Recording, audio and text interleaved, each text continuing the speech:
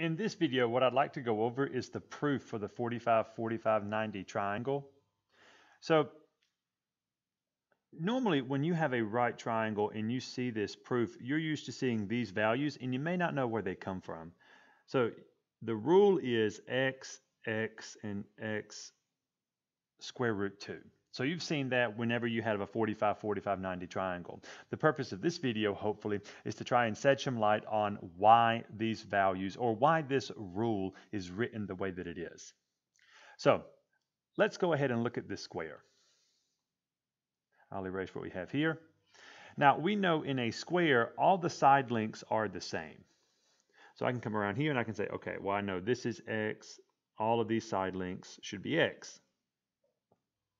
So in a square, you have four right angles. So a way that you generate a 45, 45, 90 triangle is you come in and you draw a diagonal inside of a square. And now I have a 45, 45 isosceles right triangle. So I'll come over here to the right and I'll redraw this. So here, 45 degrees, 45 degrees, and now my leg lengths have not changed. This is still the leg that used to be a part of the square. So those leg length is x because all the sides were the same. What we're really trying to do now is figure out, well, how do I determine what the length of this hypotenuse is? So what we're going to do is we're going to call on an old formula that we're used to seeing. And this formula is Pythagorean's theorem. So we remember Pythagorean's theorem as a squared plus b squared equals c squared. So that referred to your legs of your triangle. There's a, b, and then here's c. So we don't know the hypotenuse, but we know the values of a and b are x. So we could just plug this in. Here I have a squared, so that would be x. So this is x squared plus b squared, and b squared is also x. Remember, those used to be the sides of a square, equals, and we don't know what the hypotenuse is. So we're just going to keep that as c squared. So what we're going to try to do now is solve and see if we can determine a value for c.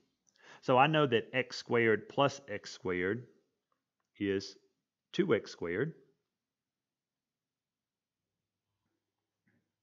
Now we have 2x squared equals c squared. So here we do want the value of c. So what we're going to do is we know if I rewrite this to say c squared equals 2x squared, if I want to isolate the c, this is currently squared, so all I have to do now is take the square root.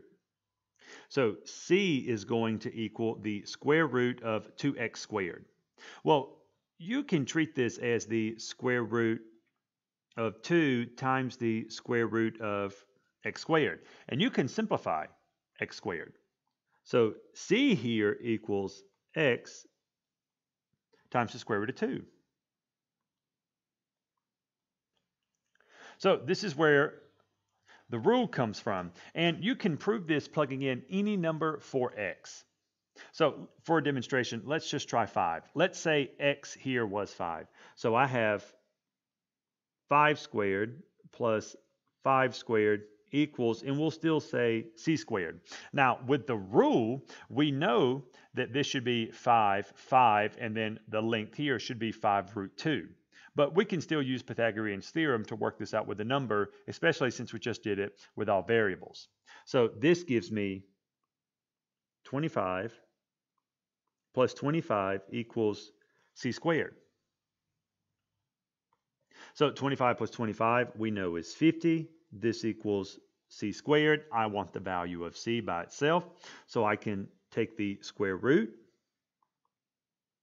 So c is going to equal, now you have the square root of 50. Well, this can be simplified. So we look for the largest perfect square that can go into 50. And that's 25. 50 divided by 25 is 2. So the square root of 25 times the square root of 2 is 50. Well, you can simplify the square root of 25 because it's 5. So 5 root 2 is the value of c. And this will work with any number that you can substitute into this, and that's why your rule is x, x, x root 2. Okay, I hope this video was helpful. If you have any questions, please leave a comment.